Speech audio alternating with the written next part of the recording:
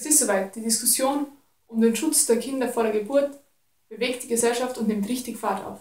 Grüß euch, ich bin die Rosa aus Wien und das ist der Jugend für das Leben Vlog Nummer 5.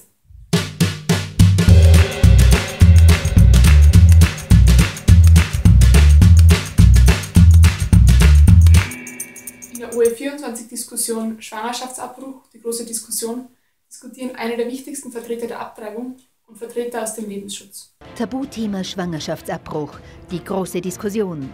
Die Diskussion hat klar gezeigt, wie wenig sich Fachärzte und Politiker, die sich für Abtreibung einsetzen, um die Fakten kümmern. Als entschiedene Abtreibungsbefürworter wurden der größte Abtreibungsarzt Österreichs, Christian Vierler, und die Bundessprecherin der Sozialistischen Linkspartei, Sonja Krusch, eingeladen. Für die Frauen in Konfliktschwangerschaft und ihre ungeborenen Kinder setzt sich Petra Blonner aus der Steiermark ein. Sie ist stellvertretende Opfer der österreichischen Lebensbewegung. Wie können wir der Frau, der schwangeren Frau, der ungeplant schwangeren Frau Wege eröffnen neben mhm. einer Abtreibung? Eine ungewollte Schwangerschaft bedeutet ja noch lange nicht, dass das Kind ungewollt ist und bleibt. Also vielleicht sitzen ja hier in dieser Runde sogar ein paar ungewollte Kinder, die jetzt heiß geliebt werden. Immerhin läuft das Leben ja selten nach Plan und das macht irgendwie seine Schönheit aus, oder? Und ungeplant ist dann das gleiche wie ungeliebt.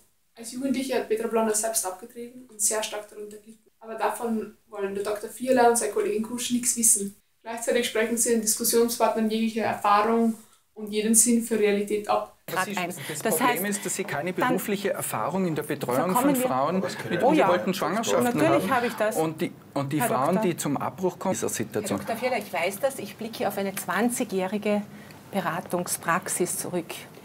Als von Abtreibung betroffene Frau kann sie außerdem sehr wohl aus eigener Erfahrung mitreden. Ich bin also, ich hatte selbst mit 17 mhm. einen Schwangerschaftsabbruch. Aus jetziger Sicht sehr überstürzt, ohne Beratung, viel zu schnell, war überhaupt nicht bereit dafür und bereue es bis zum heutigen Tag, dass ich das getan habe und habe auch dadurch, dass ich offen begonnen habe, über den Abbruch zu sprechen, äh, mit vielen, vielen Frauen geredet, denen es ähnlich ging und ähnlich geht wie mir. Und da denke ich, da müssen wir wirklich etwas nachbessern. Aber ist mit dabei war eine Dominikanerinnen-Schwester, Katharina Beifel aus Wien. Und sie hat gleich am Anfang die wissenschaftlich fundierte Tatsache betont, nämlich dass das Leben bei der Befruchtung beginnt und dass aus einer befruchteten Eizelle nie ein anderes Wesen wie ein Mensch hervorgehen kann. Mensch, und zwar irreversibel, da wird kein Frosch draus. Das heißt, wir sprechen ab da schon von, von, einem, Menschen. von einem Menschen, den man töten kann. Den man tötet, Herr, Herr ja. Social Media Experte Philipp Lohner hat es treffend auf den Punkt gebracht. Ähm, manche sprechen ja vom, vom das komische Definition Zellhaufen, ne?